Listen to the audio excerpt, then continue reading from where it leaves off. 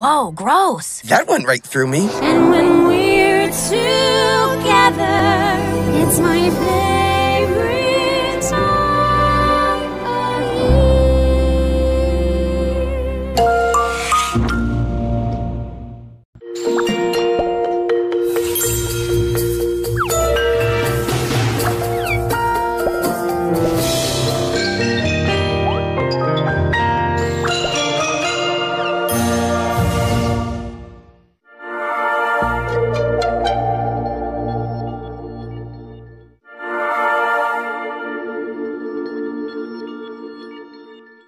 thank